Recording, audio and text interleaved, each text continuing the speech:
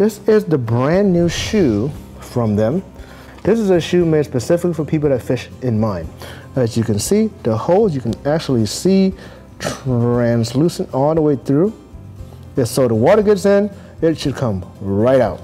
It has four holes, well actually eight holes, double on the other side as well.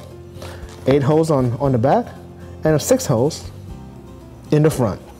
The grip, since it's made for water sport, is a non-marking sole, as you can see right here, non-marking sole, and has a very tacky feel to it. So it should be very, very nice on the water. I'll be testing this out pretty soon. I just got it, wore it once walking around, but not on the boat. I didn't want to get dirty up, you know. So another thing I like about this shoe is on the inside, is that it has no no absorption pad.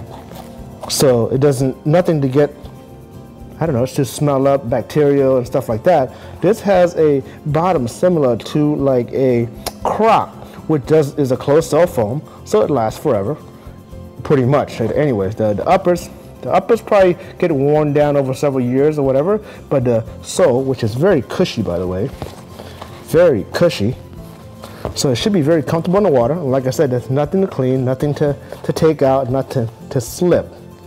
So it's all the way through, closed cell foam, new shoe by Under Armour.